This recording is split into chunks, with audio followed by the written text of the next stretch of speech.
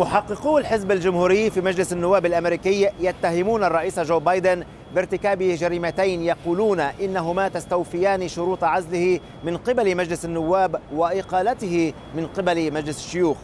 ففي تقرير أصدرته لجان الرقابة والقضاء والوسائل في المجلس يوضح الجمهوريون أن التهمتين هما إساءة استخدام السلطة وعرقلة العدالة وركزت تهمة إساءة استخدام السلطة على الصفقات التجارية في أوكرانيا والصين وأماكن أخرى والقروض المتعلقة بهانتر وجيمس بايدن بحجة أنه من غير المرجح أن تحدث لولا وجود جو بايدن في منصبه ومن دون علمه.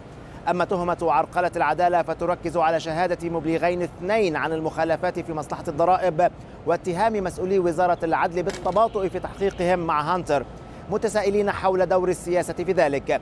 كما يتهم التقرير الرئيس بايدن بعرقلة تحقيق الجمهوريين في التحقيق في تعامله مع الوثائق السرية.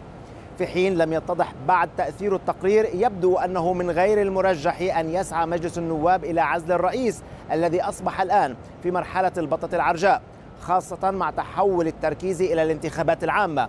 كما أن الجمهوريين ليست لديهم الأصوات الكافية لعزله.